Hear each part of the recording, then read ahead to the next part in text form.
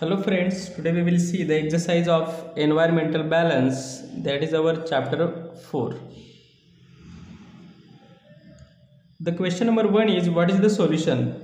म्हणजे याच्यावर उपाय काय we have remove insect from grain without using insecticides म्हणजे आपल्याला धान्यातून इन्सेक्ट जे कीटक आहेत किडे आहेत ते दूर करायचे आहेत काढून टाकायचे आहेत विदाऊट युजिंग इन्सेक्टिसाइड्स तर त्याच्यासाठी कीडनाशक किंवा कीटकनाशक वापरायचं नाही. तर आपण कशा प्रकारे ते इन्सेक्ट्स आपण त्याच्यातून रिमूव्ह करू शकतो किंवा इन्सेक्ट जे आहेत कीटक ते दूर करू शकतो काढून टाकू शकतो. कसं? Birds or other insect which it the insect can be use for removing insect काही असे पक्षी असतात किंवा काही असे इन्सेक्ट किंवा कीटकच असतात की ते इन्सेक्ट जे आपल्याला त्रासदायक इन्सेक्ट आहेत कीटक आहेत ते काढून टाकतात.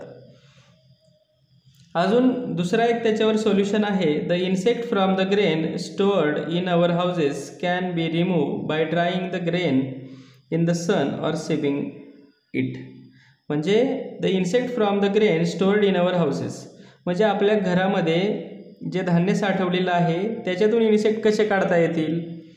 They can be remove by drying तर ते धान्य वाळवल्यानंतर किंवा उन्हात कडक उन्हात ठेवल्यानंतर त्यातील इन्सेक्ट आपोआप निघून जातात किंवा मरून जातात. किंवा the grain in the sun or sieving it ते चाळल्यानंतर सुद्धा त्याच्यातील कीटक दूर होत असतात. अशा पद्धतीने हा फर्स्ट क्वेश्चन होता. त्यानंतर क्वेश्चन नंबर टू काय आहे पहा. यूज युअर ब्रेन पॉवर तुमची तुमचे डोके चालवा किंवा तुमची युक्ती किंवा तुमची बुद्धी वापरा. Make up a food chain आपल्याला फूड चेन तयार करायची आहे. तर फूड चेन कशी तयार करायची आहे? त्यांनी आपल्याला ऑर्गॅनिझम दिलेले आहेत. सजीवांची नावं दिलेली आहेत. ती फक्त आपल्याला एका ठराविक ऑर्डरप्रमाणे ठराविक क्रमाने लिहायची आहेत. म्हणजे ती फूड चेन तयार होईल. या ठिकाणी दिले फ्रॉग त्यानंतर आहे काईट म्हणजे घार. व म्हणजे कीटक किंवा किडा. व म्हणजे कृमी. स्नेक म्हणजे साप आणि ग्रास. तर सुरुवातीला जो प्रोड प्रोड्युसर आहे तो येणार आहे ग्रास. मग ग्रासला खाणारा कोण आहे? गवताला खाणारा कोण आहे? तर वम. अळी. त्यानंतर वमला कोण खातं? फ्रॉग. फ्रॉगला खाणारा कोण आहे किंवा फ्रॉग कोणाचं अन्न आहे? स्नेकचं. आणि स्नेक शेवटी स्नेकला कोण खातं? काईट म्हणजे घार खाते. अशा पद्धतीने ही काय झालेली आहे? एक फूड चेन तयार झालेली आहे. The next question is answer the following questions खालील प्रश्नांची उत्तरे लिहा.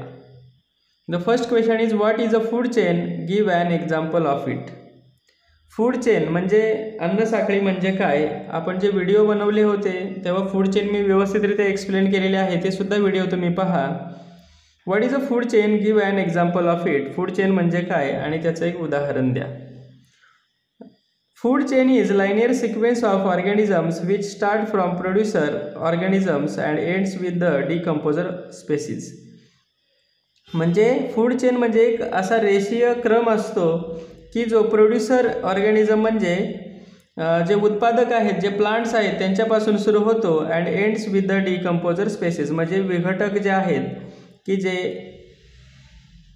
मृत प्राणी किंवा वनस्पती मेल्यानंतर त्याचं विघटन करतात डिकम्पोजिशन करतात त्यांच्यापर्यंतचा जो क्रम आहे त्याला फूड चेन म्हणतात.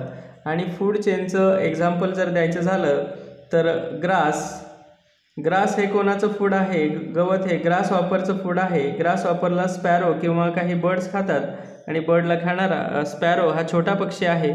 त्याला खाणारा मोठा पक्षी हॉक असतो. तर अशा पद्धतीने आपल्याला त्याचं एक्झाम्पलसुद्धा देता येऊ शकतं. आता वळूया नेक्स्ट क्वेश्चन जो आहे question number to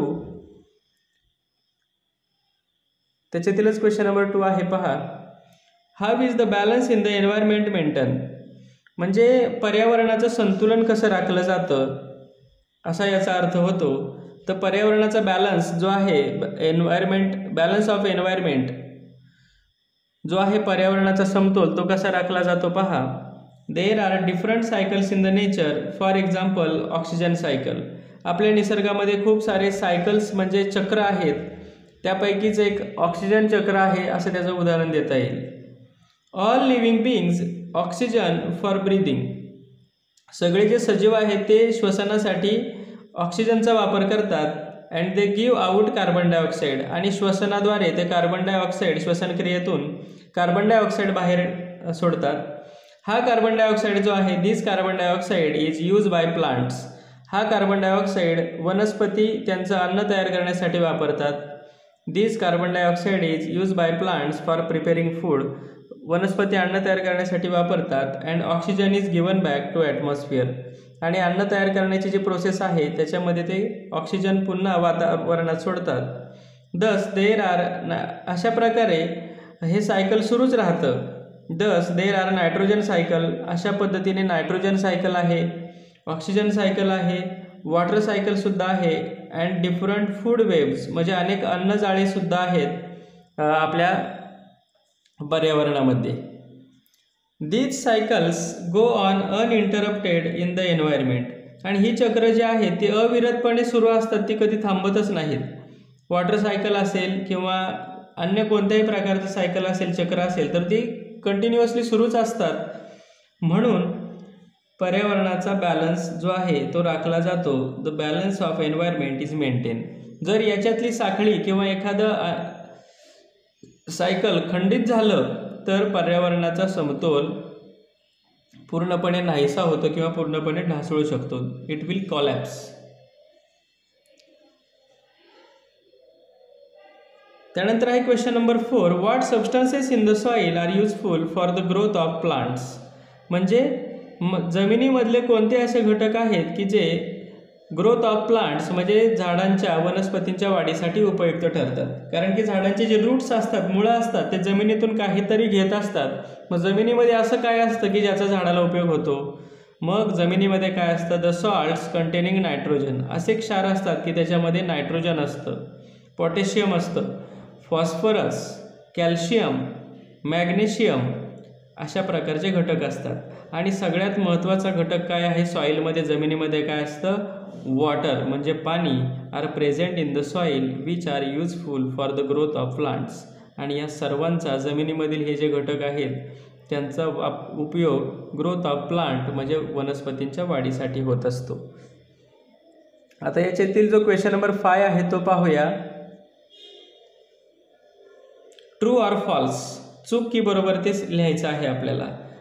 Microorganisms form a part of environment सूक्ष्मजीव हा सुद्धा एन्व्हायरमेंटचा पार्ट असतो. एन्व्हायरमेंटचा भाग असतो पर्यावरणाचा भाग असतो. हे आन्सर ट्रू आहे याचं उत्तर जे आहे बरोबर आहे. कारण की सगळेच लिव्हिंग आणि नॉन लिव्हिंग थिंग्स आहेत ते एन्व्हायरमेंटचा घटक आहेत. It is necessary to maintain biodiversity जैवविविधतेचे रक्षण करणं किंवा ते राखणं गरजेचं आहे. हो. तर खूप गरजेचं आहे. त्याच्यावरच आपलं माणसाचं जीवन अवलंबून आहे. A grasshopper eats birds. नाकतोडा पक्ष्यांना खातो. तर हे चुकीचं आहे पक्षी नागतोड्याला खातात. जे बर्ड आहेत ते ग्रास ऑपरला खातात. A bird it's grasshopper असं पाहिजे होतं तर या ठिकाणी उलटं दिलेलं आहे म्हणून हे आन्सर फॉल्स म्हणजे चुकीचं आहे.